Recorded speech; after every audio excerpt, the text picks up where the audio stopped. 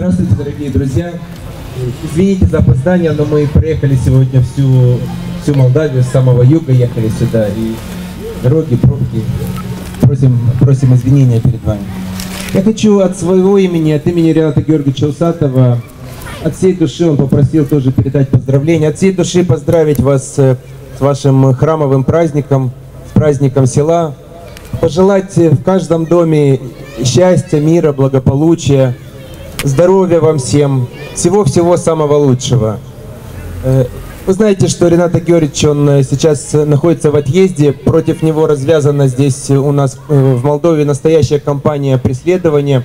Э, Действительно опасно возвращаться, но 23 октября в Москве э, в концертном зале гостиницы «Космос» он организует большую встречу с нашими соотечественниками.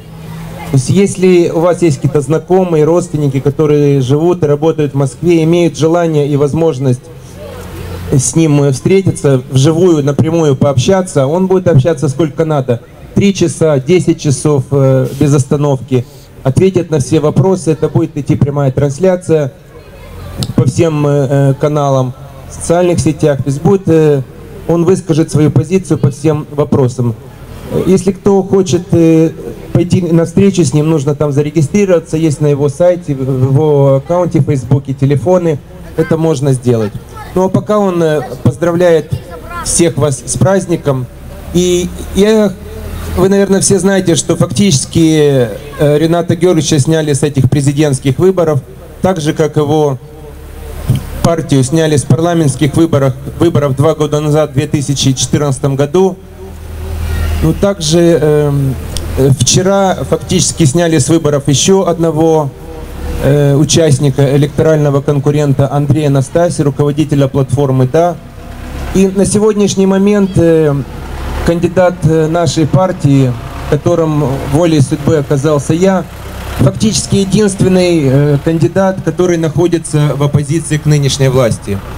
Мы идем с очень жесткой критикой власти Кишиневской. Э, Она того заслуживает. Она заслуживает не только критики, она заслуживает, чтобы ее сместили как можно быстрее и не завтра, не послезавтра, а еще вчера. И у нас для этой цели есть э, свой, э, свое решение.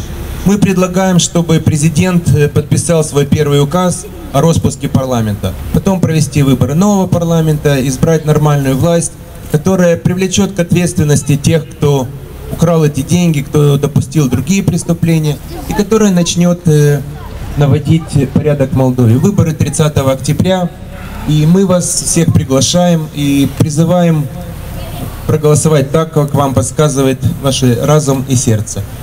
Еще раз поздравляю вас с праздником. Всего-всего вам самого хорошего.